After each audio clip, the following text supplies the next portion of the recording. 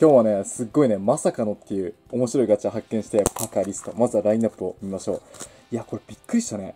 もう、二度見したもんね、リアル二度見。ザン、アリ。素晴らしきミクロの世界。もうアリのガチャだよ。1回200円で全5種で、意外にね、クオリティが高いんだよね、このパッケージを見る限り。あの、さっき覗いたんだけど、カプセルの中、すごくクオリティ高くて、ラインナップも激アツなんだ。俺がね、一番欲しかったのが、この真ん中にある、カマキリの頭部と、黒オワリ。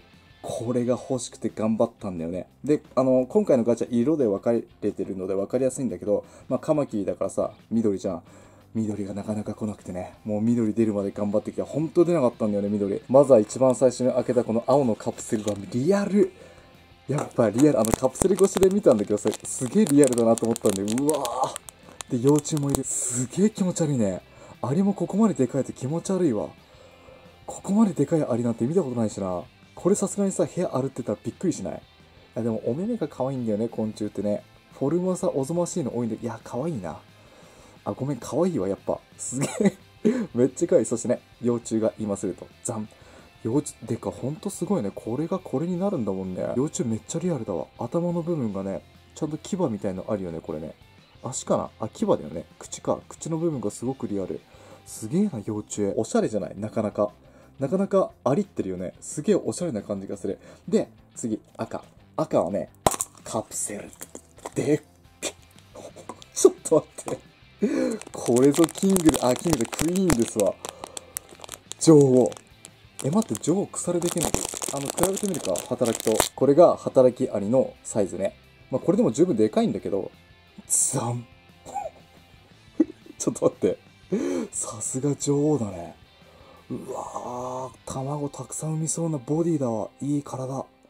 いい体してる。素晴らしいね。うわ、つか、ここまででかいとほんと怖いな。アリでも。アリンコでもここまででかいとおぞましい。あ、でもお目目が可愛いんだよね。ほら。え、マジでさ、これすげえおしゃれじゃない？こんな感じで飾ってたら。え、いいな。アリってるね。これすげえアリってる。そして、黄色のカプセルね。これもね、1個しか来なかったんだよね。こんだけ回して1個しか来なかったやつ。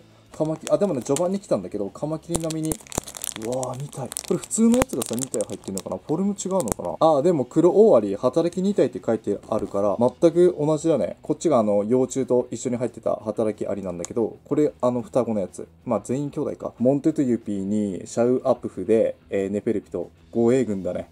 まさに護衛軍。そして、黒のカプセル。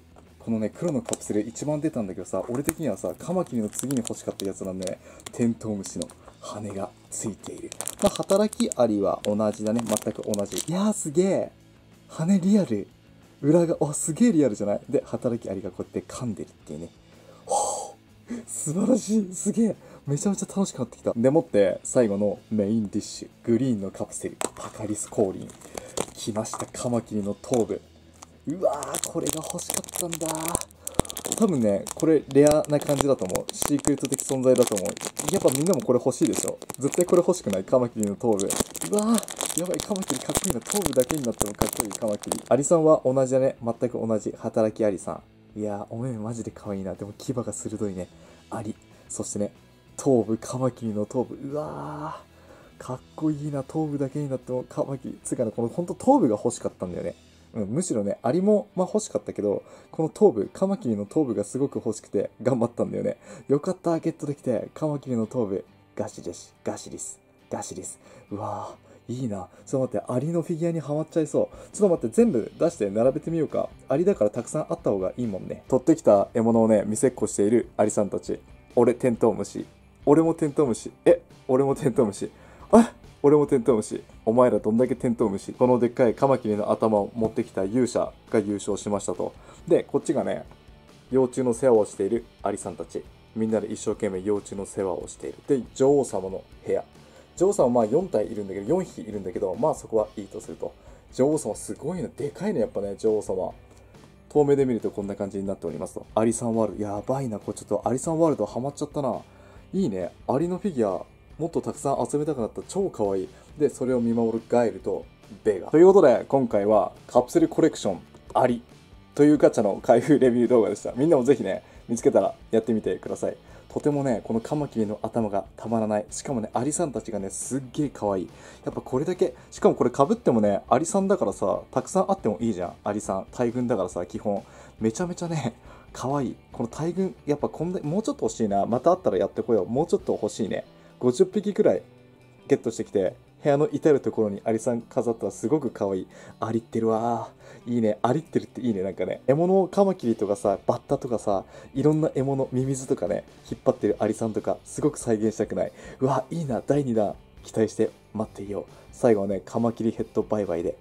いやーいいなー。ほんとこれが欲しかったんだよね。カマキリが マジで一番欲しかった。今回のシリーズでは。